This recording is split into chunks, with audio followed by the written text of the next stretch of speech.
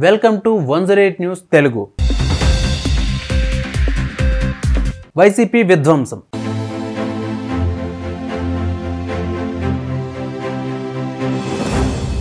ఇటీవల జనసేనని పవన్ కళ్యాణ్ టీడీపీ అధినేత కలిసి విధ్వంసం అనే పుస్తకాన్ని ఆవిష్కరించడం జరిగింది. విధ్వంసం పుస్తకం గురించి పవన్ కళ్యాణ్ గారు మాట్లాడుతూ ఆ పుస్తకంలోని కొన్ని ముఖ్య అంశాలపై ఆయన కొన్ని వ్యాఖ్యలు చేయడం జరిగింది.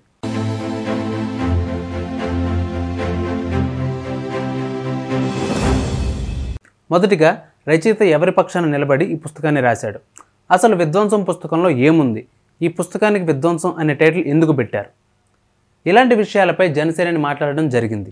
కొద్ది కాలం క్రితం విధ్వంసం రచయిత శ్రీ ఆలపాటి సురేష్ కుమార్ గారు ఈ పుస్తకం నాకు పంపినప్పుడు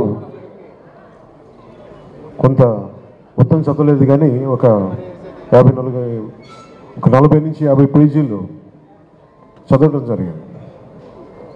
ఇందాక ఆయన చెప్తున్నట్టుగా ఒక రచయిత ఏ ప్రయోజనాలను ఆశించి రాశారు?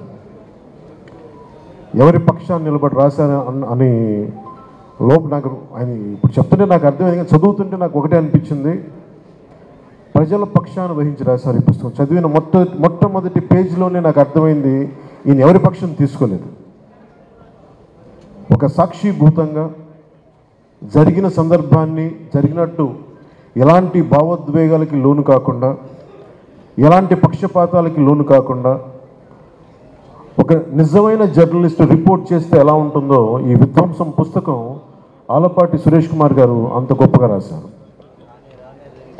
సహజంగా కొన్నిసార్లు ఒక ఇంక్లూడింగ్ నేను చాలా కాలం క్రితం నైంటీస్లో ఎంజే అక్బర్ రాసిన రైట్ ఆఫ్ రైట్ అనే పుస్తకం చదివినప్పుడు ఎంతో కొంత ఆయన ఒక చిన్న పక్షపాత ధోరణి కనిపించింది నాకు ఆ పుస్తకంలోనే.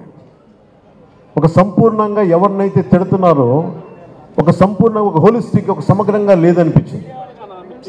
సో ఇలాంటి సందర్భాలు నేను ఎన్నో చూశాను చదివాను పుస్తకాల్లో. కానీ విధ్వంసం పుస్తకం చదువుతుంటే మటుకు విధ్వంసం పుస్తకం చదువుతుంటే మటుకు అసలు ఆయన చాలా చాలా ఎక్కడ కూడా ఒక పక్షపాతి ధోరణి లేకుండా ఒక నిజమైన జర్నలిస్ట్ ఎలా రాస్తే సమాజానికి ఉపయోగపడుతుందో అంత గొప్పగా రాశారు ఈ పుస్తకాన్ని తరువాత ఆలపాటి సురేష్ గారి జర్నలిజం గురించి ఆయన నవలల గురించి కూడా చెప్పడం జరిగింది. ఇక తర్వాత వైసీపీ ప్రభుత్వం చేసిన విధ్వంసాలు అంటూ వైసీపీ అధికారంలోకి వస్తూనే విధ్వంసం మొదలుపెట్టిందని కూడా ఆయన చెప్పడం జరిగింది. ఈ విధ్వంసం పుస్తకం ఇందులో చాలా భాగం ఏదో నేను ఒక అతిథిగా రాలేదు.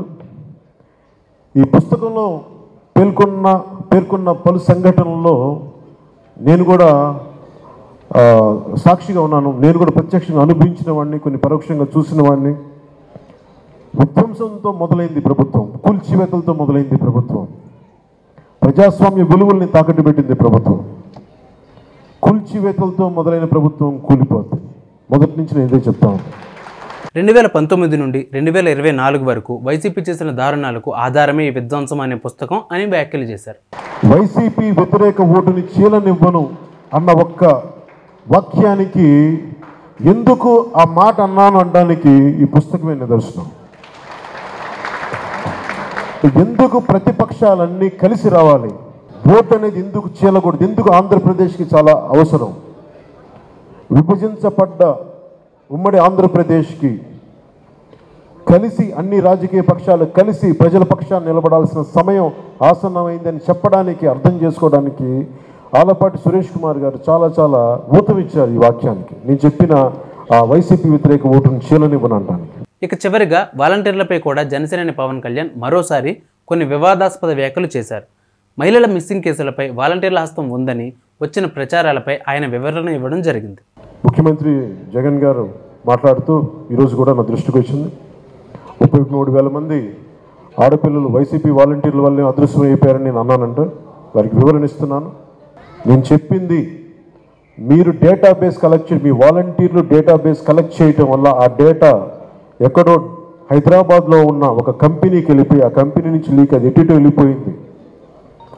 అదే చెప్పాను తప్ప ఏ రోజు కూడా వాలంటీర్ వ్యవస్థ సంపూర్ణంగా వాళ్ళు చేశారని నేను ఇప్పుడు అనలేదు. వాలంటీర్ల మీద నాకు గౌరవం ఉంది కానీ కొద్దిమంది వాలంటీర్లు చేసిన తప్పులకి వాలంటీర్ వ్యవస్థ మొత్తం చెడ్డ తీసుకొచ్చిందని చెప్పాను తప్ప వాలంటీర్ వ్యవస్థ ఏ రోజు కూడా మొత్తానికి చేసిన నేను ఏ రోజు చెప్పలేదు. ముఖ్యంగా వాలంటీర్స్గా పనిచేస్తున్న యువతకు ప్రత్యేకించి తెలియజేస్తాం మీ భవిష్యత్తుకు కూడా మేమందరం అండగా నిలబడి ఉంటాం తెలియజేసుకుంటున్నాం